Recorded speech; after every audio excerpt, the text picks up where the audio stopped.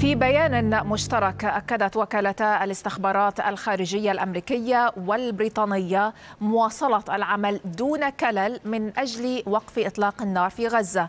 وبحسب البيان الذي نشرته صحيفة فاينانشال تايمز البريطانية قال مدير وكالة الاستخبارات الأمريكية ويليام بيرنز ونظيره البريطاني ريتشارد مور إن الجهازين استغلا قنواتهما للضغط بقوة لضبط النفس وخفض التصعيد في الشرق الأوسط. أضاف بيرنز ومور أنه ما يعملان على التوصل إلى هدنة في غزة يمكن أن توقف الخسائر الفادحة في أرواح المدنيين وتسمح لحركة حماس بإطلاق سراح الرهائن.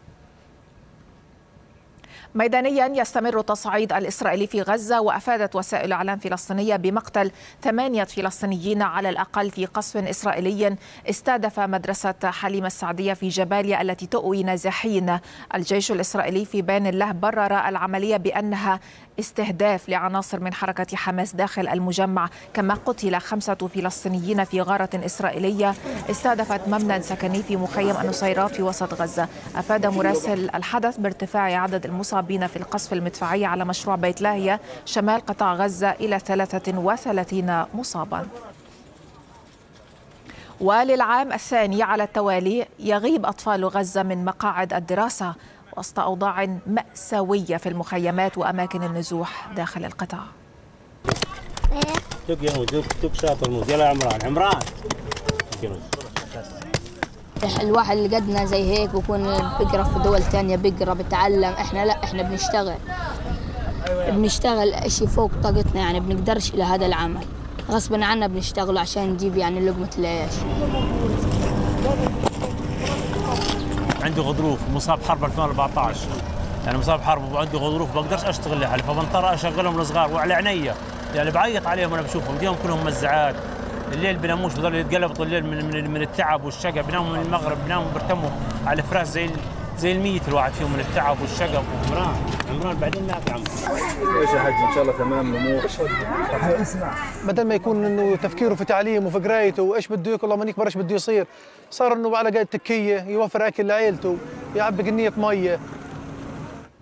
اتهم محقق أممي إسرائيل بتنفيذ حملة تجويع ضد الفلسطينيين في غزة منذ ثاني أيام الحرب. مقرر الأمم المتحدة الخاص المعني بالحق في الغذاء مايكل فاخري أكد أن الفلسطينيين شكلوا بحلول ديسمبر الماضي 80% من سكان العالم الذين يعانون الجوع الكارثي. واصفا ذلك بسابقة رئيس الحكومة الإسرائيلية من جهته نفى ما وصفه بكذب واضح وادعاءات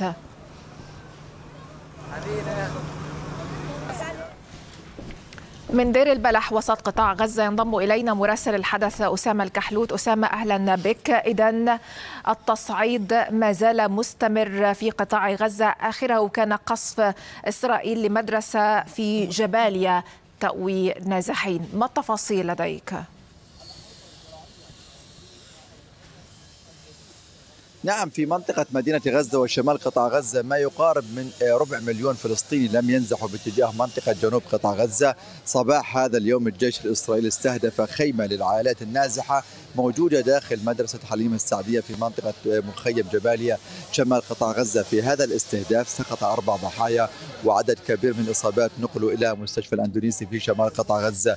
بالإمكان الحديث على أن غالبية الإصابات التي يتم نقلها إلى مستشفيات في شمال قطاع غزة تصل إلى مرحلة مميتة لعدم وصول أو قدرة الطواقم الطبية على إنقاذ حياة عدد كبير من المصابين خاصة إذا ما كانت إصابته سواء متوسطة أو خطيرة. في ظل نقص الأدوية العلاج المستلزمات الطبية كوادر طبية كل هذه تنقص على يعني المستشفيات في مناطق شمال قطاع غزة. الجيش الإسرائيلي على مدار الأيام الثلاثة الماضية استهدف أكثر من خمسة خيام موجودة في مناطق شمال وجنوب قطاع غزة والتي كان آخرها في مدرسة حليمة السعدية في شمال قطاع. يوم أمس الجيش الإسرائيلي استهدف خيمة للعائلات النازحة أيضا داخل مستشفى شهداء الأقصى. أدى هذا إلى سقوط خمس ضحايا وعدد كبير من الإصابات وتدمير عدد كبير أيضا من الخيام الموجودة داخل مستشفى شهداء الأقصى وكذلك الحال قبل يومين استهداف ثلاثة خيام للعائلات النازحة في منطقة خان يونس جنوب نعم. قطاع غزة نتحدث عن ضربات مركزة الجيش الإسرائيلي يستهدف العائلات النازحة ويقتل من هم داخل خيام بشكل مركز جدا نعم. تحت ادعاء أنهم مطلوبين للجيش الإسرائيلي الجيش الإسرائيلي نعم. متواصل في ضرباته على منطقة في ظل هذا التصعيد أسامة والذي تعطينا تفاصيله كيف تجري عملية التطعيم التي من المفترض أنها بدأت في مرحلتها الثانية؟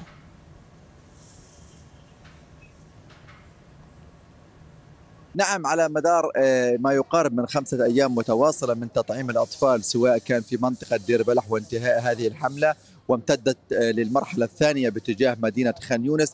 نتحدث عن تطعيم أكثر من ربع مليون فلسطيني الآن حتى هذه اللحظة في الحملة الأولى والثانية والمستمرة حتى هذه اللحظة في يومها الثالث في مدينة خان يونس. غدا سيكون آخر يوم تطعيم في مدينة خان يونس وسيتم نقل الطواقم الطبية والتلقيحات والتطعيمات إلى مدينة غزة وشمال قطاع غزة في المرحلة الثالثة. قبل قليل يعني وزارة الصحة أعلنت عن استكمال عملية تطعيم الأطفال هنا في منطقة وسط قطاع غزة من خلال نشر الطواقم الطبية من جديد من أجل إتاحة المجال لمن يحصل أو لمن لم يحصل على التطعيمات والتلقيحات والتحصينات لأطفاله بالحصول عليها.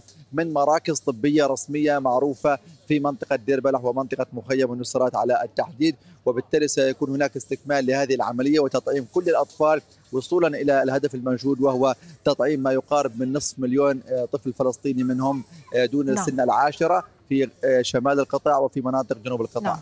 ونبقى في معاناة الأطفال معك أسامة وأيضا العام الدراسي بدأ ولكن هو العام الثاني على التوالي الذي ربما لا يستطيع الأطفال من تبقى منهم على قيد الحياة الذهاب إلى أي مدارس نظرا لقصف إسرائيل لهذه المدارس ولكن هل يحصلون على أي نوع بأي شكل على تعليم في قطاع غزة؟ يعني للعام الثاني على التوالي سيحرم أطفال قطاع غزة ما يقارب أكثر من نصف مليون طالب فلسطيني حرموا الآن من المراحل التعليمية والالتحاق في المدارس لأن غالبية أو كل المدارس الموجودة في مناطق شمال وجنوب القطاع تحولت إلى مراكز إيواء بالإضافة إلى أن هذه العائلات التي لجأت إلى هذه المدارس استخدمت المقاعد الدراسية كوقود من أجل طهي الطعام لأطفالهم داخل مراكز الإيواء.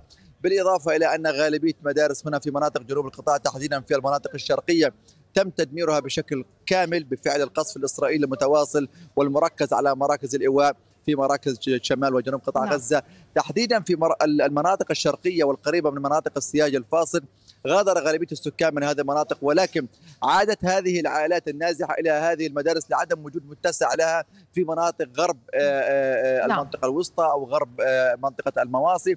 وبالتالي تم استخدام كل هذه المدارس كمراكز إيواء بالإضافة إلى أن هناك فقط مبادرات شخصية من بعض المؤسسات ومن بعض الأفراد يقوم بصناعة نعم. خيمة داخل كل مركز إيواء من أجل استكمال عملية التعليم للأطفال المتواجدين داخل مراكز الإيواء فقط من أجل م. الاستذكار ومحاولة تذكير الطلاب بالمناهج الدراسية فقط ليس نعم. يعني بهدف استكمال مراحل تعليمية رسمية. شكرا جزيلا من در البلح وسط قطاع غزة مراسل الحدث أسامة الكحلوت شكرا جزيلا لك.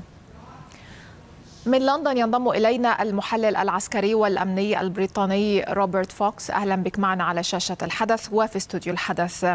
بيان أمريكي بريطاني مشترك وصف بأنه نادر لمدير وكالة الاستخبارات المركزية الأمريكية ويليام بيرنز وأيضا رئيس المخابرات البريطانية ريتشارد مورد. يتحدث فيه عن أن هناك مجهود للضغط من أجل ضبط النفس وخفض التصعيد.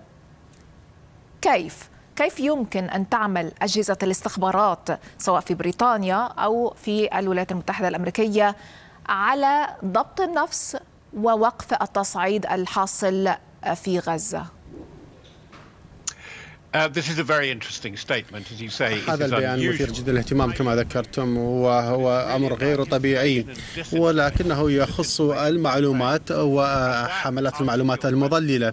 وهذا يجيب عن السؤال لأنهما قلقان جدا. إذا ما قرأنا النص يتحدثان على الأوضاع في أوكرانيا والتهديد من الحملات الإعلامية المدعومة من روسيا وكذلك الصين ولكن خاصة في أزمة غزة. بل لا أقول فقط أزمة لأن المخابرات الأمريكية والبريطانية قلقون جدا من الأوضاع المتردية في الضفة الغربية. وهو يقول أنهم يغذون المعلومات السيئة ويجب أن تفوق عليها بالمعلومات الجيدة. وهنا أجد هي مناشدة هذه المقالة أو هذا البيان. هذه المناشدة سيد فوكس لمن تقدم من المفترض أنه مثلا الجانب السياسي أو الجانب العسكري في كل بلد بريطانيا أو الولايات المتحدة الأمريكية هما من يعملان على خفض التصعيد وقف إطلاق النار ضبط النفس ولكن أن يتحدث عن ذلك الجهة الاستخباراتية ما الذي يعنيه؟ First, أولا أنا أتفق معك بالرأي. فأنا أشعر بعنصر الانزعاج الشديد داخل هذا البيان. لماذا الآن؟ لأنهم يقولان لرؤساء الدول والأطراف المتنازعة سواء حماس أو الحكومة الإسرائيلية أو جيش إسرائيلي ولكن خاصة الحكومة الإسرائيلية. و بشكل خاص بيل بيرنز هو كان مفاوضا. وهم بلا شك قلقون جدا من uh, ما نجده مرارا وتكرارا حول المفاوضات لا يوجد تفاعل بينهما فقط يبدو الخلافات الشديدة. هذا ما وجدته في هذا البيان خاصة مع كل المعلومات والخطابات والبروباغندا. هم يخشون بأن الأمور ستزداد سوءا قبل أن تتحسن. ولكن هذا مثير. هم لا يذكرون إسرائيل ولا مرة ولا يذكرون نتنياهو. لا يذكرون حملاتهم الإعلامية. هذا ما أجده مثيرا للاهتمام. يجب أن أقول بأنني أقول بأن هذا انتقاد صامت قوي جدا. أها. حينما يتحدث الجانب الاستخباراتي دعنا هنا نتحدث عن بريطانيا. الجانب الاستخباراتي في بريطانيا وعن ضرورة ضبط النفس ووقف إطلاق النار. كيف تلتقط يلتقط الجانب السياسي وأي مستشارين أمنيين وعسكريين هذا الخيط.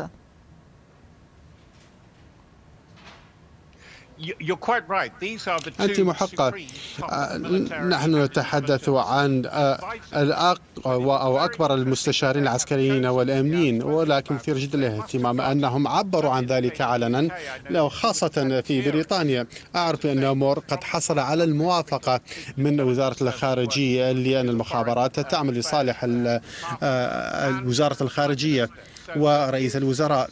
فهنالك نوع من التنسيق الجاري هنا. بالتالي أعتقد بأنهم قلقون من درجة التعقيد أو لحملات الإعلامية. هنا الكثير من العبارات الهامة. البيان قصير ولكن من بين أهم الأشياء التي التقطتها من المقال هو أنهم يقولون الأزمات ليست متتابعة لا تأتي واحدة بعد الأخرى وكلها بدأت تجتمع. هذه جزء من الصورة الكبيرة. هذه هي الرسالة التي يحاولون إيصالها. وبلا شك نشرها في الصحف. هذه هي رسالة يريدون إيصالها إلى الجمهور أو إلى العامة الذي سواء في بريطانيا أو أمريكا متشكك جدا. هو دفع ضد اليمين المتطرف في ألمانيا الذي يقول لا يهم ألمانيا لألمانيا. كما يقول ترامب نجعل أمريكا عظيمة مرة أخرى لا يهمهم أوكرانيا فقط نهتم بشؤوننا. وهذه هي جزء من حملة معلومات. خاصة عبر الفاينانشال تايمز صحيفة عالمية وتطبع في أربع مناطق أوقات عالميا أي لكل العالم. فمهم جدا خاصة مع المخابرات الأمريكية التي اختارت الفاينانشال تايمز لنشر نفس المقال. صحيح وكنت سأسألك لماذا فاينانشال تايمز ولماذا بيان عبر الاستخبارات البريطانية ألا يوجد لدى بريطانيا إذا كان لديها الرغبة في المساعدة في وقف إطلاق النار والوصول إلى التهدئة والضغط من أجل ذلك طرق أخرى غير البيانات وعبر الاستخبارات البريطانية؟ أجل بكل تأكيد أنت محقة تماما لديهم القنوات أو السبل الأخرى.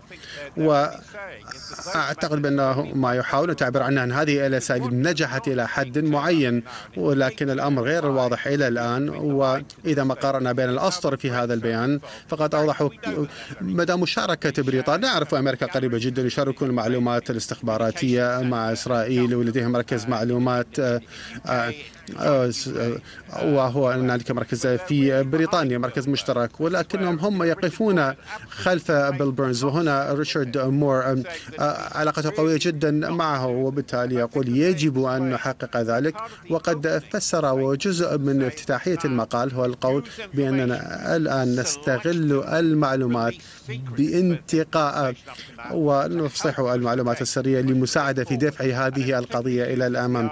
وتستخدم المثال أوكرانيا ولكن الأمر مثير للاهتمام هو أن حرب المعلومات التي نشهدها في الشرق الأوسط والأمر الغريب هو أنهم خبراء في المراقبة وغير ذلك ويفتخرون بجهودهم لحصل المعلومات. ولكن المشكلة هي مدى سوء إسرائيل في تقديم المعلومات إلى العالم.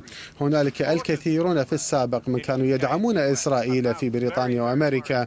من هم أصبحوا قلقين جدا من هذه الحرب الأزلية أو الوضع العدائي والتي تشابه أنا سبقا كتبت عن ذلك تشبه ما قام به فلاديمير بوتين يقول أنا أبقى في السلطة لأن الحرب تبقيني في السلطة وهذا ما يقلق أشخاص مثل مور وبيرنز كثيرا. شكرا جزيلا المحلل العسكري والأمني البريطاني روبرت فوكس كنت معنا من لندن. شكرا جزيلا.